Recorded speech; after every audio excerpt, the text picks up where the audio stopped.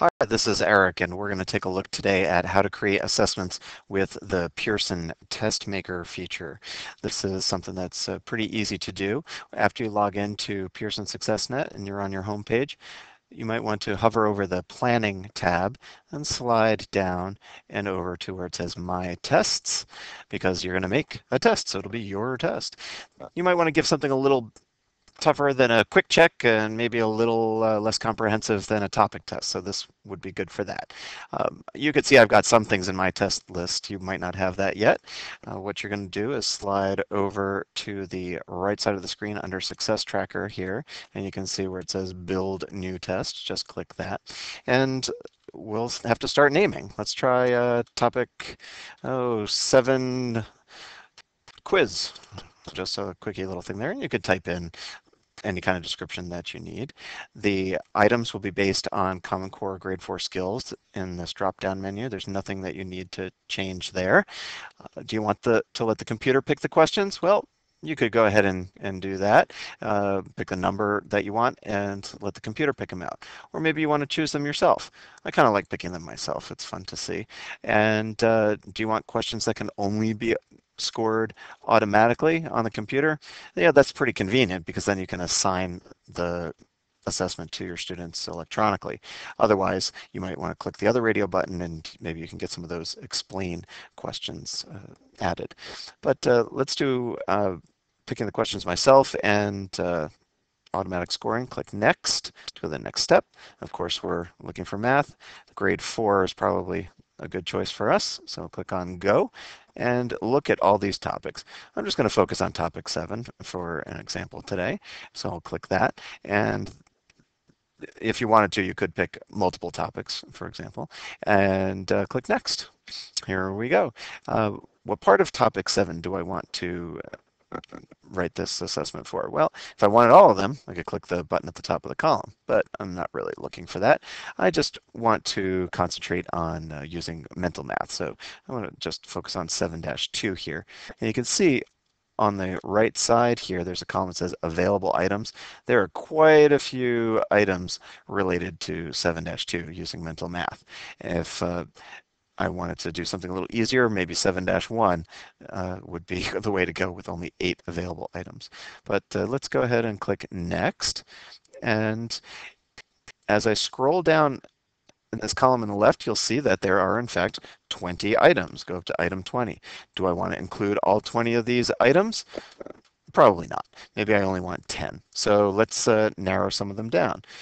I'm going to look at each one. I'm probably going to have to scroll down to see all the answers. And I can confirm that it's from 7-2 by looking underneath the answer choices. I can click on reject the item if I don't like that one. If I want to select an item, I will simply select the item. If I think this is a good one, I might click on that. And you can see there's a green check mark next to item 2. If I scroll back here, item one has a red X next to it because I re had rejected that one.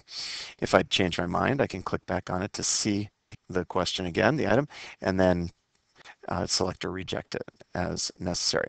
So I go on down and take a look at the different questions. Uh, that looks like a good one. I'll select that. Item five, let me just skip one there. I like that one. I'll select that. I'm how many questions am I up to? Gosh, I don't know. Oh, look right here. It tells me total selected items three. I'm looking for 10. So let's go to item 10. Oh, that's a nice challenging one. I'll select that. Item 14. Oh, that's another good one. Let's select that. And oh, love these. 15's good. Straight computation. Let's get another one of those in. Ooh, more computation, mental math. We love those. Kind of get some problem solving in. So 18 and 19. There we go. Now we've got 10 items. Okay, I'm going to go ahead and click Finish and Preview. And there it is. It's building my test. I can scroll down to see all the questions and their answer choices. Ooh, that's nice. I can view a summary. This is good to print because it'll give you the numbers and the correct answers. Okay. And you can see there's a print button down here when you scroll. I'll go ahead and close that window. I don't need that right now.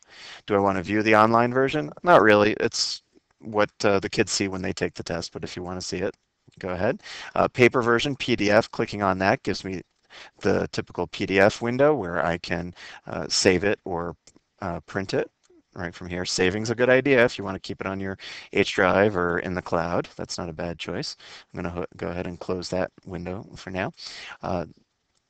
I think we did see the summary already. What do I want to do? Well, I want the kids to take it, right? So I'm going to go ahead and assign it. Click assign. Do I want to include enrichment and remediation? Probably not for something quick like this, so I'll uncheck those. Are my dates correct? Is that long enough to give the kids? Yep. And uh, do I want every student to have it? Maybe, so I can click the top of the column there. They're already selected. But if I only want a few, because maybe this is just for a small group, uncheck that and select the kids that you'd like to give it to. And then once you click Save, those students will receive that in their to-do list.